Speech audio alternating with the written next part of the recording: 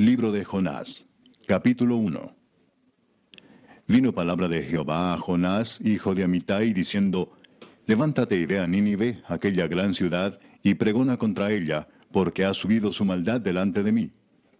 Y Jonás se levantó para huir de la presencia de Jehová a Tarsis, y descendió a Jope, y halló una nave que partía para Tarsis.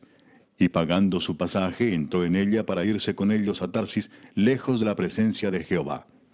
Pero Jehová hizo levantar un gran viento en el mar, y hubo en el mar una tempestad tan grande que se pensó que se partiría la nave. Y los marineros tuvieron miedo, y cada uno clamaba a su Dios, y echaron al mar los enseres que había en la nave, para descargarla de ellos. Pero Jonás había bajado al interior de la nave, y se había echado a dormir. Y el patrón de la nave se le acercó y le dijo, ¿Qué tienes, dormilón?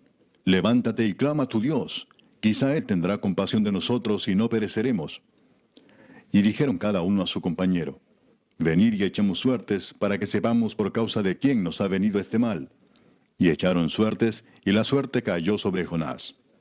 Entonces le dijeron ellos, Decláranos ahora por qué nos ha venido este mal. ¿Qué oficio tienes y de dónde vienes?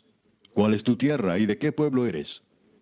Y él les respondió, Soy hebreo y temo a Jehová Dios de los cielos, que hizo el mar y la tierra. Y aquellos hombres temieron sobremanera y le dijeron, ¿Por qué has hecho esto? Porque ellos sabían que huía de la presencia de Jehová, pues él se lo había declarado. Y le dijeron, ¿qué haremos contigo para que el mar se nos aquiete? Porque el mar se iba embraveciendo más y más. Él les respondió, Tomadme y echadme al mar, y el mar se os aquietará. Porque yo sé que por mi causa ha venido esta gran tempestad sobre vosotros. Y aquellos hombres trabajaron para hacer volver la nave a tierra, mas no pudieron, porque el mar se iba embraveciendo más y más contra ellos. Entonces clamaron a Jehová y dijeron, Te rogamos ahora, Jehová, que no perezcamos nosotros por la vida de este hombre, ni ponga sobre nosotros la sangre inocente, porque tú, Jehová, has hecho como has querido. Y tomaron a Jonás y lo echaron al mar, y el mar se aquietó de su furor. Y temieron aquellos hombres a Jehová con gran temor, y ofrecieron sacrificio a Jehová, e hicieron votos. Pero Jehová tenía preparado un gran pez que tragase a Jonás. Y estuvo Jonás en el vientre del pez tres días y tres noches. Capítulo 2. Entonces oró Jonás a Jehová su Dios desde el vientre del pez y dijo, Invoqué en mi angustia a Jehová y él me oyó. Desde el seno del Seol clamé y mi voz oíste.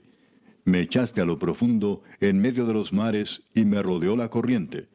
Todas tus ondas y tus olas pasaron sobre mí. Entonces dije, desechado soy de delante de tus ojos, mas aún veré tu santo templo. Las aguas me rodearon hasta el alma, rodeóme el abismo. El alga se enredó a mi cabeza. Descendí a los cimientos de los montes, la tierra echó su cerrojo sobre mí para siempre. Mas tú sacaste mi vida de la sepultura, oh Jehová Dios mío. Cuando mi alma desfallecía en mí, me acordé de Jehová, y mi oración llegó hasta ti en tu santo templo. Los que siguen vanidades ilusorias, su misericordia abandonan. Mas yo con voz de alabanza te ofreceré sacrificios. Pagaré lo que prometí.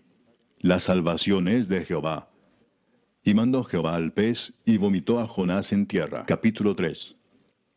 Vino palabra de Jehová por segunda vez a Jonás diciendo, Levántate y ve a Nínive, aquella gran ciudad, y proclama en ella el mensaje que yo te diré.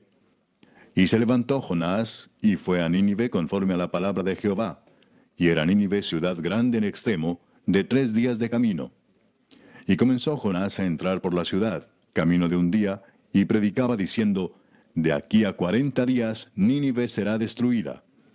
Y los hombres de Nínive creyeron a Dios, y proclamaron ayuno, y se vistieron de silicio desde el mayor hasta el menor de ellos. Y llegó la noticia hasta el rey de Nínive, y se levantó de su silla, se despojó de su vestido, y se cubrió de silicio y se sentó sobre ceniza. E hizo proclamar y anunciar en Nínive, por mandato del rey y de sus grandes, diciendo, Hombres y animales, bueyes y ovejas, no gusten cosa alguna, no se les dé alimento ni beban agua, sino cúbranse de silicio, hombres y animales, y clamen a Dios fuertemente, y conviértase cada uno de su mal camino, de la rapiña que hay en sus manos ¿Quién sabe si se volverá y se arrepentirá Dios y se apartará del ardor de su ira y no pereceremos? Y vio Dios lo que hicieron, que se convirtieron de su mal camino, y se arrepintió del mal que había dicho que les haría, y no lo hizo. Capítulo 4.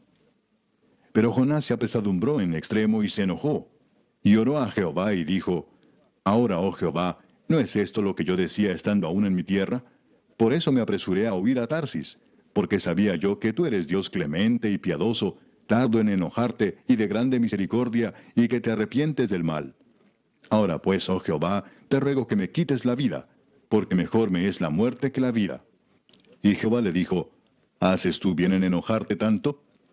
Y salió Jonás de la ciudad y acampó hacia el oriente de la ciudad, y se hizo allí una enramada, y se sentó debajo de ella a la sombra, hasta ver qué acontecería en la ciudad. Y preparó Jehová Dios una calabacera, la cual creció sobre Jonás para que hiciese sombra sobre su cabeza, y le librase de su malestar. Y Jonás se alegró grandemente por la calabacera. Pero al venir el alba del día siguiente, Dios preparó un gusano, el cual hirió la calabacera, y se secó. Y aconteció que al salir el sol, preparó Dios un recio viento solano, y el sol hirió a Jonás en la cabeza, y se desmayaba y deseaba la muerte, diciendo, Mejor sería para mí la muerte que la vida. Entonces dijo Dios a Jonás, ¿Tanto te enojas por la calabacera? Y él respondió, Mucho me enojo, hasta la muerte. Y dijo Jehová, ¿Tuviste tú lástima de la calabacera, en la cual no trabajaste ni tú la hiciste crecer, que en espacio de una noche nació y en espacio de otra noche pereció? Y no tendré yo piedad de Nínive, aquella gran ciudad donde hay más de ciento veinte mil personas que no saben discernir entre su mano derecha y su mano izquierda, y muchos animales?